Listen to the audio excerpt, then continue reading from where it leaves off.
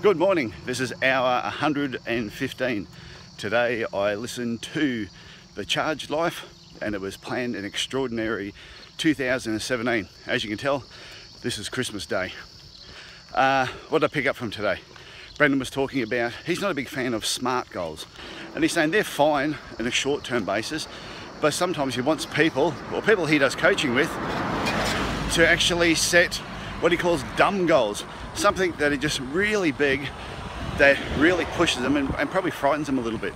And the other part, when he was talking about goals, he said you should make sure your goals are progressive goals, which means one goal leads on to another one. If you have just a singular goal that I'm going to do this by this time and you achieve it, he sort of goes, then you say, then what?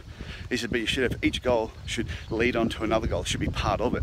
And the third thing I took away from it, when he was talking about in your diary, if you've got a goal set for a certain time, you need to make sure, one, it's scheduled in your diary that it's going to occur, but there should be at least five checkpoints that you look at in your diary to remind you of what it is that you're trying to trying to achieve and where you need to be at certain points. He said if, if goals or things that you need to do are not scheduled in your diary, it's just not going to happen.